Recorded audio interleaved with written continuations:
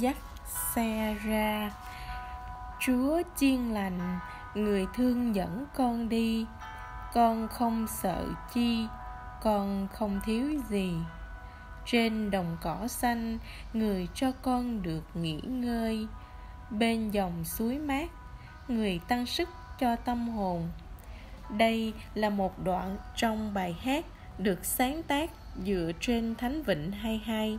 Chúa là một tử nhân hậu. Vì Israel gốc là du mục nên hình ảnh người chăn chiên rất quen thuộc với họ. Thánh Vịnh 22 này là một bài ca đầy thi vị, dùng những hình ảnh cụ thể để nói lên sự săn sóc chở che của Chúa đối với dân người và ngược lại, dân Chúa đặt tất cả tin tưởng vào Chúa. Cựu ước nhiều lần gọi Chúa là một tử của dân.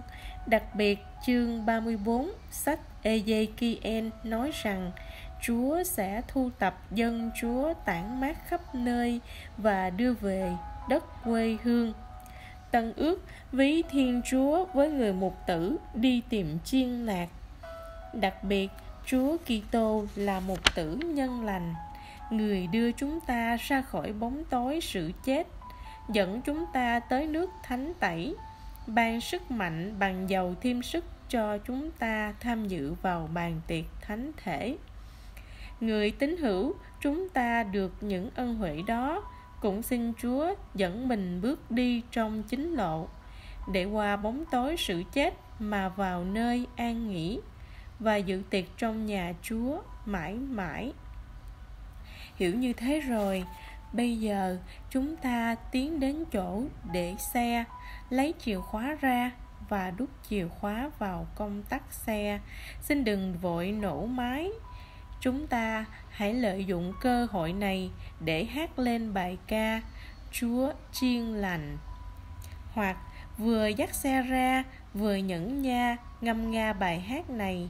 Làm như vậy, chúng ta dễ ý thức mình đang làm gì chúng ta biết mình đang làm gì chúng ta biết mình sẽ đi đâu chúng ta sẽ dắt xe ra một cách thảnh thơi vui tươi hoan hỷ với tâm tình của dân Israel và của người Kitô hữu rằng Chúa là một tử tốt luôn săn sóc chúng ta, bảo vệ chúng ta khỏi mọi nguy nan trên mọi nẻo đường chúng ta sẽ đi đến.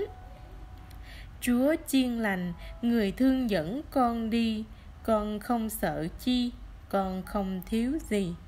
Nếu chúng ta ý thức mình là cừu, là chiên do tay Chúa dẫn dắt, được mua bằng máu của Đức Kitô, con Thiên Chúa, được Chúa Cha vui lòng ban cả vương quốc cho, được dẫn tới nguồn nước trường sinh và được lau sạch mọi nước mắt, thì hẳn chúng ta phải vui sướng hoan hỷ biết mấy. Nếu chúng ta là cừu, là chiên do tay Chúa dẫn dắt, thì hãy nhìn đàn cừu trên các sườn núi xanh cỏ mà xem. Chúng tung tăng chạy nhảy, chúng nhẫn nha gặm cỏ, chúng lững thững dưới bóng râm không có gì là hối hả là thúc giục là âu lo chúng thậm chí chẳng nhìn người mục tử. Chúng biết mục tử vẫn có đó, vẫn chăm sóc chúng.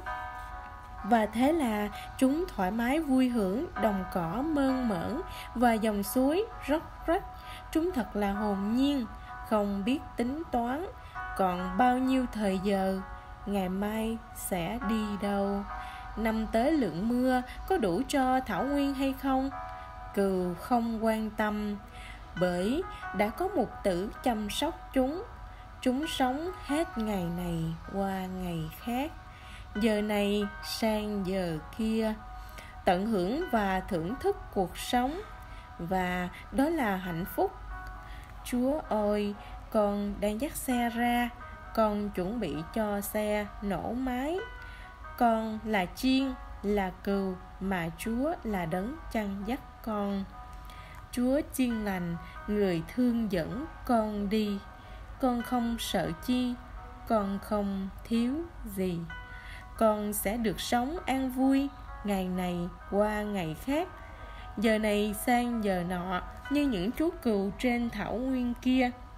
Vì chúa đang ở đó với con, hạnh phúc của con là được sống trong sự quan phòng kỳ diệu của chúa hạnh phúc của con là được sống theo sự sôi dẫn của chúa thánh thần trên mọi nẻo đường cuộc sống. Giờ đây, con sẽ ung dung đi lại, hít thở và sống khỏe. Ung dung tận hưởng cuộc sống. Mọi giây phút với con đều quý báu vì con không còn vướng bận ưu tư cho những giây phút kế tiếp.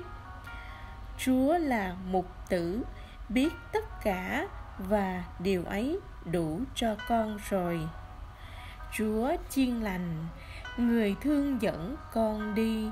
Con không sợ chi, con không biết, con không sợ chi, con không thiếu gì.